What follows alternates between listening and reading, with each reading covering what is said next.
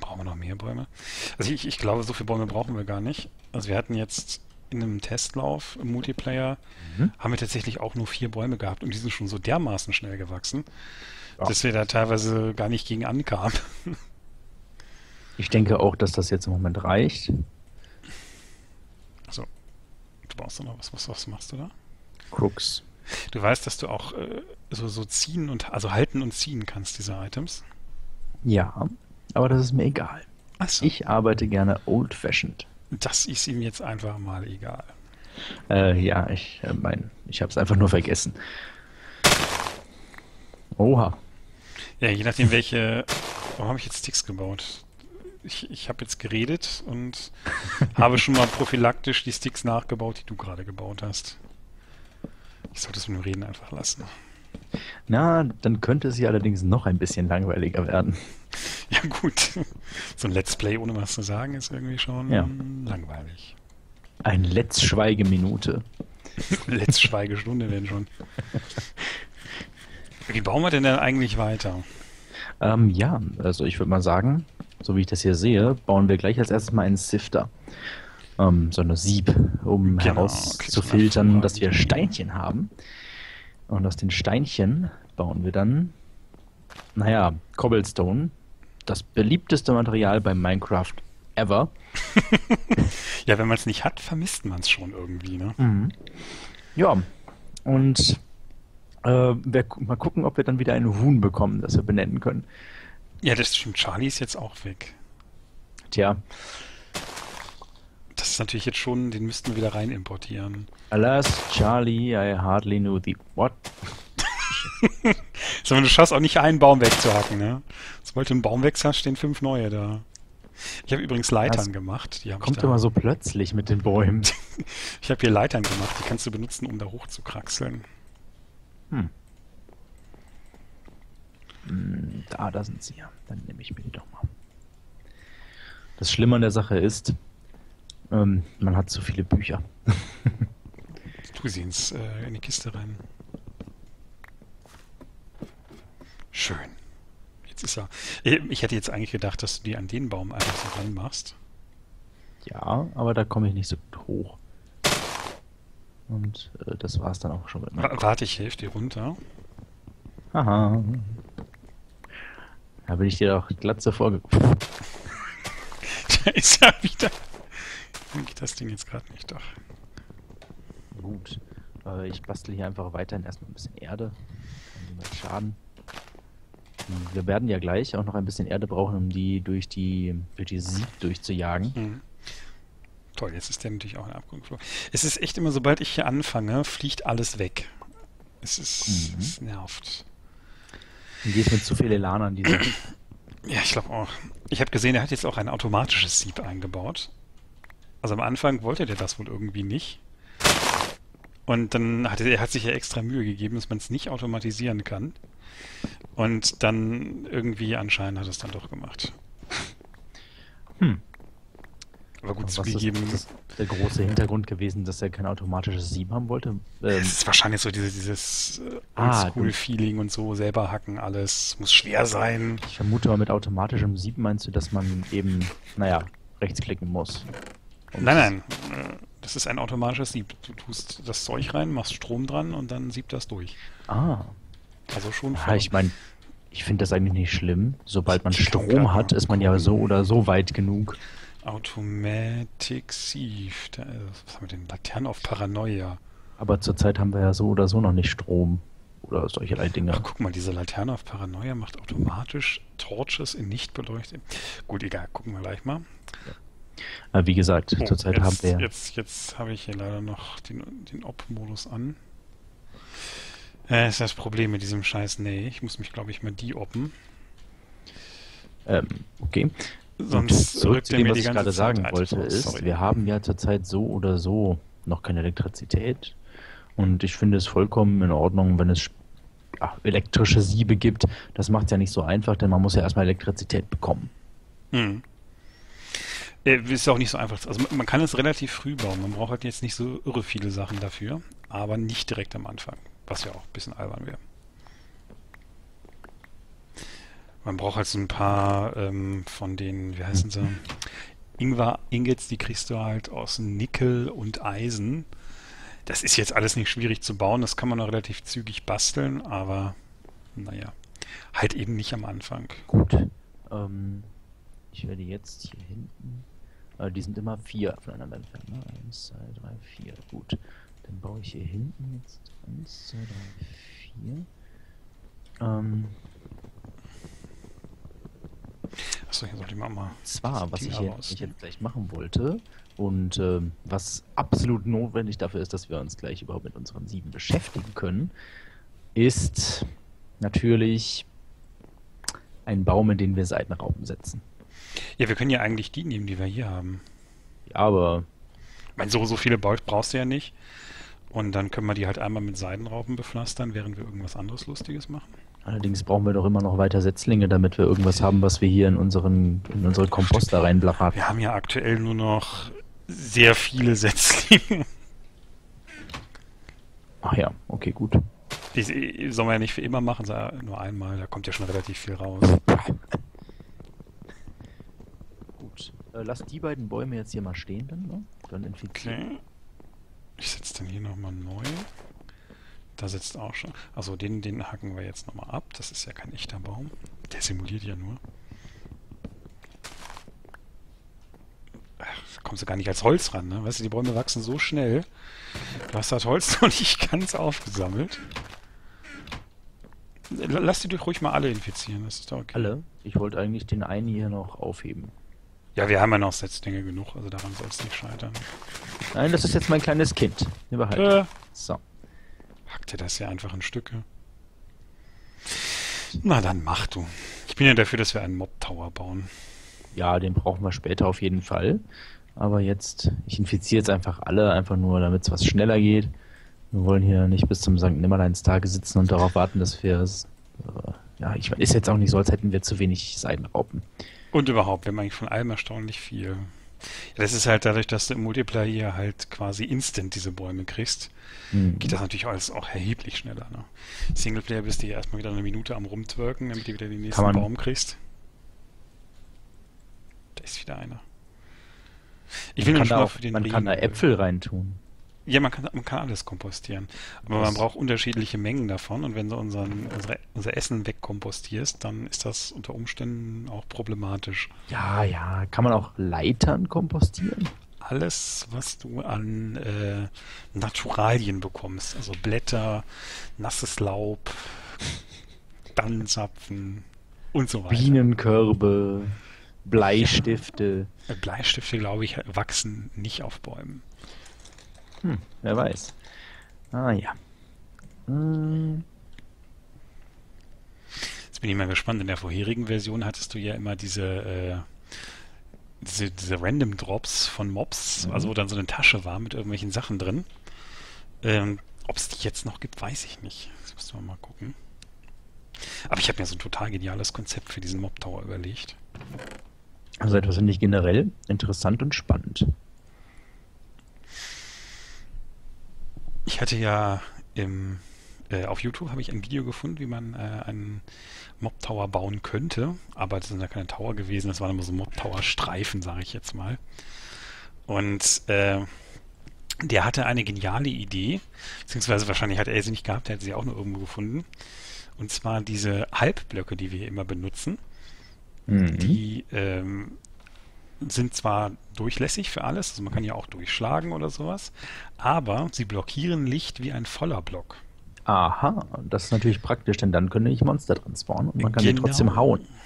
Das ist nämlich der geniale Gedanke dieses, dieses Mob-Spawners, den dieser Mensch hatte, dass du einfach, du baust halt ähm, so, so einen Gang oder so einen kleinen Raum mhm. und machst halt unten drunter, machst du diese Halbblöcke und dadurch, dass die unten drunter sind, kannst du dann so von unten quasi durchschlagen sind aber komplett lichtgeblockt.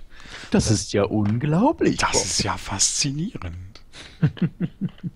Vielen Dank für, dass wir den irgendwo bauen. Holz haben wir ja. Wie viel Holz haben wir eigentlich? Genug. Oha, du warst fleißig. hm. Oh, World Domination, das klingt auch gut. Diese, diese Silk, Silkworms kann man ja auch braten. Äh, hat sich aber herausgestellt, die stellen nur einen einzigen Hunger her. Das kann man also eigentlich auch lassen. Man kann sie doch, glaube ich, auch einfach so essen, oder? Nee, ich glaube, so geht gar nicht. Hm. Also es stellen wieder nur einen Hungerpunkt her. Das äh, ist so, du musst irgendwie zehn Stück fressen, um halbwegs satt zu werden. Und dann hast du auch sofort wieder Hunger, weil die keinen Sättigungswert haben. Verstehe ich nicht bei so einem riesigen Wurm. Nompf. Ich habe ihn irgendwie noch in der Lunge stecken.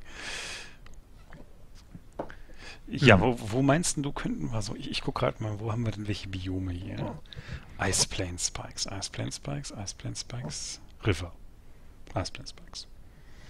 Also ich glaube, das River wäre nicht schlecht. Dieses Ice Plain Spikes ist tatsächlich ein neues Biom, das mit 1.7.10 oder so dazugekommen ist. Mhm. Und total selten ist. Das heißt, wir haben total Glück, dass wir jetzt da drin sind und all unser Wasser wird einfrieren. Na, das ist aber nicht so toll. Dann baue ich erstmal eine Landmine. Was? Nein, nein, keine Landminen. Äh, tu nichts Unwilliges. Das ist jetzt diese Laterne. Ich muss das jetzt wissen. Ich gucke gerade erstmal durch, was man eigentlich so alles mit dem Eichenholz, unsere momentanen Haupt, unsere momentanen Hauptressource, so eigentlich alles machen kann.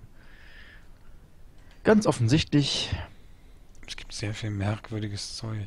Ähm, ja, ganz offensichtlich kann man ähm, aus drei Schwertern und drei Holzblöcken und einem ähm, ja, Woodblock, also dem Kernblock davon, äh, Wooden Spikes machen. Wooden die sind im Moment Spikes? nicht so schlau, ja, die sind im Moment nicht so schlau, denn Wooden die pieken einen ganz offensichtlich. Spikes, Tatsache. Also, ja, die, die, die klingen jetzt nicht schlau, aber man kann damit was äh, ganz Tolles machen. Sie sind, sie sind schlau gegen Gegner. Ich meine, sie wären im Moment nicht schlau, während man, wir hier zu zweit auf einer Insel rumhocken. Kann den, man kann die in den Mob Tower integrieren. Ja, ja. Deswegen, ich meinte, sie sind nicht generell dumm. Sie sind nur dumm im Moment für uns. Aber wenn ich sie jetzt auf den Boden legen würde, wäre das halt auch sehr lustig. Das ist wahr. Ich werde wahrscheinlich reinlaufen. Das ist das blöde Feuerwerk. Das ist wahrscheinlich so ein Neujahrsjoke, den die sich hier so mal überlegt haben. Testen wir diese mal. Ja, funktioniert. Danke. Das war super. Oh, man kann sie auch so, seitlich hinholen. So, ah, oh Gott, das funktioniert. Ja, ist ja schön, ne, dass sowas geht. Das, das macht ja auch Freude. Ja, die können wir halt in diesem Mob Tower benutzen. Dann können mhm. wir die Mobs vollautomatisiert töten und müssen dann nur noch das Loot einsammeln. Ja. Das ist Nahezu brillant eigentlich, wenn so drüber nachdenkt. So, dann schauen wir doch mal ganz kurz nach. Irgendwas sollte ich machen. Ähm, Sieve. Ich lege jetzt mal eine Richtung fest. Ich gehe jetzt in diese Richtung. So, dann zählen wir mal ab. Äh, 25 Blöcke müssen wir weit weg sein. So, das heißt, wenn der Stapel jetzt zu Ende ist, dann sind wir auf einer ausreichenden Distanz. Ich habe ja kaum Höhenangst immer bei diesen Dingern. Ne? Shift-Taste wieder krampfhaft festgehalten.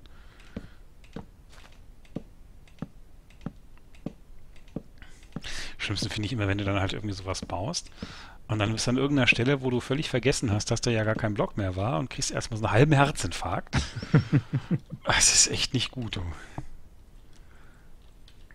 So. Ich erinnere mich da an eine wundervolle Falle, die ihr mal für jemanden gebaut habt. die da nicht funktioniert hat. Weil dieser etwas unbedarfte Herr dann einfach drüber gerannt ist. Und die Falle, nun ja. Das hatten wir in unserem genialen Konstrukt nicht eingeplant, dass er einfach dran vorbeigeht. Aber er wäre nur 80 Blöcke nach unten gefallen. Das hätte er bestimmt überlebt. Das geht ja noch. In Lava. Die hatten wir, falls der Fall Schaden. Man muss ja auch nicht sicher gehen bei sowas. Mit brennenden Lavahaien an den Seiten. Wo was du das Haie drin war. Es gibt ja hier einen Walross. Mich würde ja brennend interessieren, wo wir gerade beim Thema sind, was das mit diesem Walross aus sich hat. Was, wofür genau hast du jetzt? Ach, wofür? Ah, da hinten soll der Mob-Spawner dann hin, ne? Genau, ich sehe, du hast schon gesiebt. Ich habe noch nicht gesiebt, aber ich werde gleich sieben. Ich habe nur ein Sieb schon mal gebaut. Jetzt schwebt es in der Luft. Das ist ja wunderschön. Wenn du das näher ans Licht stellst, sinkt die Wahrscheinlichkeit, dass Creeper drauf spawnen. Hm. Dann machen wir das. Licht, Mary Ich werde mir auf jeden Fall jetzt nochmal so eine schöne Bodenplatte holen, damit das nicht ganz so hässlich aussieht, denn man muss ja auch ein bisschen. Ja? Das hast du schon gemacht. ich dachte, lass dir erstmal ausreden. Ich habe das Ding mal einfach mal tiefer gelegt in einem Versuch. Aber das ist tatsächlich so, dass gelegentlich dann mal Sachen auch unten rausfallen und die sind dann weg. Und das ist dann nicht so toll. So was sieht uns der Meister da zusammen? Hauptsächlich Stein. Wir werden sehen, was ich jetzt hier zusammensiebe. Ich frage mich, ob ich auch einfach einen Apfel sieben kann. Hm, nein. nein. ich, ich, glaube nicht. Nein. Aber es war ein Versuch wert. Es wäre natürlich witzig, ob ich die Samen aus dem Apfel raussieben kann. du ähm, kannst einen Apfelbaum, der nur noch Äpfel schmeißt, bauen. Ich kann dir schon mal sagen, schön. was ich bislang so rausgesiebt habe. Also neben den Steinen, die ich rausgesiebt habe, habe ich äh, Karottensamen, ähm, Zuckerrohrsamen und einfach nur so Samen. Samensamen. Samen, Samen. schlecht. Ich baue mal noch mal zwei Fässer, habe ich mir gerade überlegt. Und mache da vier draus, wenn ich zählen kann. Mhm. Weil wir ja auch noch andere Dinge brauchen. Nämlich Lehm für den Crucible.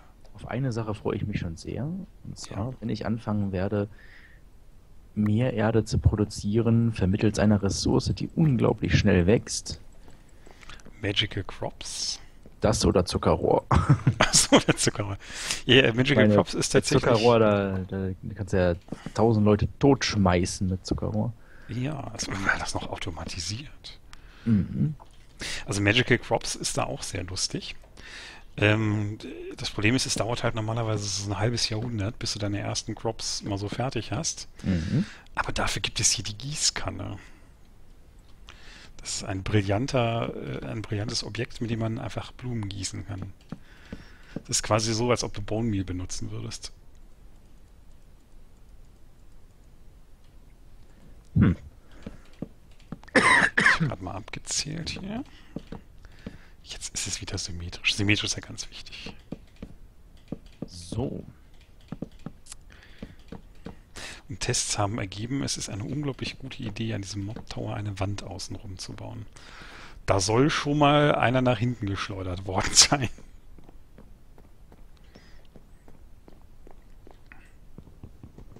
Ich mache mal die Bäumchen weg. Ja, das ist keine so schlechte Idee.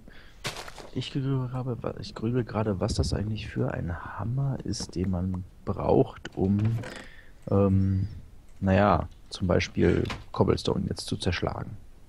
Wir haben leider keine Sticks mehr. Hm. Ist das dieser, dieser normale Wooden Hammer? Ich habe ihn dir reingebaut.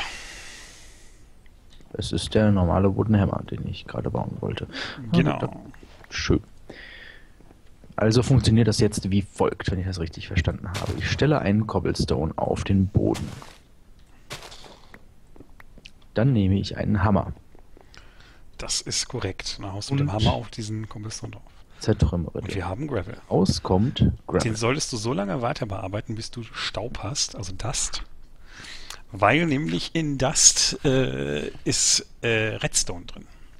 In Gravel sind Diamanten und Emeralds drin. In Sand so. sind diese äh, Kristalle drin, die man für Applied Energistics braucht. Und in Dust ist Redstone drin. Und Netherquarz, glaube ich, auch noch. Generell ist, ist das halt so der Dust das Wertvollste. Ist manchmal in Dust auch einfach nichts drin? Ja, leider. Das war ein ah. grausamer Moment, aber es kann theoretisch auch gar nichts drin sein. So, jetzt habe ich wieder vergessen, die Bäume neu zu setzen. Schalalala. Ah ja, stimmt. Warum mache ich das eigentlich nicht gleich so? Ja, stimmt, du kannst sie massenmäßig verarbeiten.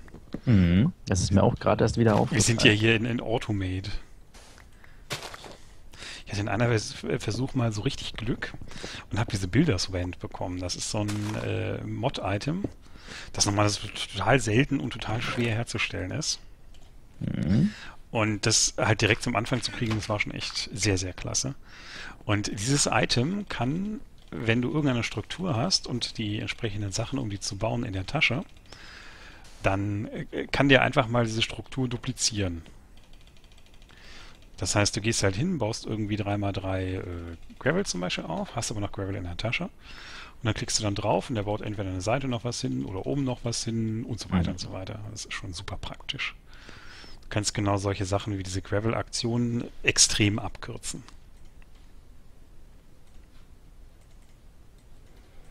Na, das war ja jetzt sehr, sehr spannend. ich habe mir tatsächlich, weil ich. Jetzt habe ich äh, einen gigantischen Haufen Kram zerstört. Und was kam dabei raus? Das verraten. Nichts. Doch. Ein Powdered Aluminium Ore, also Aluminium, und ein Powdered Iron Ore. Ja, ist doch schön. Eisen brauchen wir ganz viel. Was, äh, ja, ich glaube, wir brauchen dringend mehr Bäume. Brauchst du eigentlich noch Faden? Mach ich, wieso, wieso frage ich dich das eigentlich? Ich kann den Faden doch einfach hier reintun. Wir haben doch. Wir haben, ja, diese Kiste. Genau. Wir sind so luxuriös, wir haben sogar eine kleine Holzkiste. Nein, das ist sogar eine große Holzkiste. Und wir brauchen auf jeden Fall viel mehr Setzlinge. Das ist absolut korrekt. So, ich brauche jetzt immer noch diese Ecken von diesen Wänden. Das sind immer diese. Wenn man irgendwie zufällig gerade irgendwo lang rennt, dass man dann nicht rückwärts in den Abgrund rennt. Das soll ja schon mal passiert sein. Viel mehr Setzlinge und unendlich viele Crooks. Ähm, ich Crooks glaube, es ist unendlich viel. Huch, schön. Irgendwie halten die Crooks nämlich total nicht. Die haben irgendwie eine ganz geringe äh, Durability so, nur. Ich so viele Crooks. so viele Crooks. Diese Mauer mal gebaut ist hier beim, beim Arbeiten. Also aus den Dingern hier nichts rausfällt, runterfällt und wir vor allem auch nicht. Ach, wer von uns würde denn runterfallen? Bitte, das wäre albern und unprofessionell. ich genau, das passiert eigentlich quasi keinem. Also ich, ich, bin ja eine ganz faule Sau, deswegen habe ich mir auf meiner coolen G15-Tastatur jetzt diese Taste, warte, ich drücke die jetzt mal. Und jetzt kann ich, ohne irgendetwas zu tun, das einfach durchlaufen lassen. Und ich habe den Rhythmus so schnell eingestellt, dass der hier tatsächlich in einer wahnsinnigen Geschwindigkeit das Zeug durchhämmert. Wahnsinnige Geschwindigkeit. Jawohl. Okay, gut. Müssen wir irgendwann wieder ausmachen. So renne einfach mal hier im Grauen. Nee, da ist ja noch Holz übrig. Ich habe Cobblestone. Ja. Ich mach mal unsere Stimmt. Furnace. Äh, ich habe auch noch einen Cobblestone, aber Furnace ist ja, nicht schlecht. Ich habe die Furnace schon gebaut. Ich baue jetzt hier in unsere Gesamtanlage einfach hin. Wundervoll. Das, das bietet sich ja an. Äh, achso, ich, ich habe ja keine Axt. Ich suche mal die Axt und denke mir, hä? Hab ich jetzt wieder hingelegt? Ich habe ja gar keine Axt. Das ist nämlich hier dieser, siehst du diese, diesen gigantischen Stein, der hier ist am Boden? Den Furnace Slab? Ja. Das ist die Furnace. Ich habe die gerade getreten. Oh, wir haben auch schon Gras.